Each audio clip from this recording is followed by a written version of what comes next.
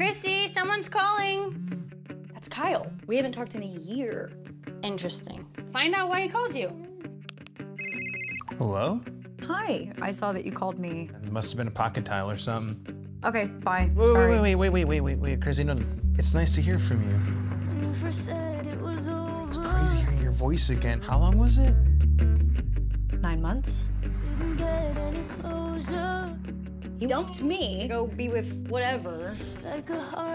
Gosh, I can imagine how many dates a girl like you's been on up there. I'm gonna tell my war story. I'm gonna need one of yours first. You were just checking her out, weren't you? You got it? I got Yes! Like my dad was uh, eavesdropping on my conversation.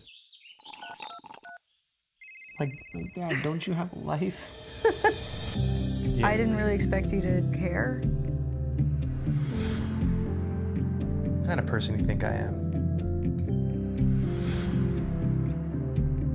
You seem to remember an awful lot. I, I remember practically everything.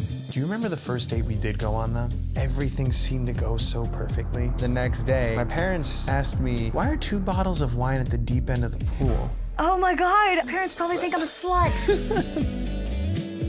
you in town? But yeah, of course. Wait, are you in town? I think I just need a little bit of time. I never wanted to break up with you. I had to grow without you. This has been a hell of a pocket dial.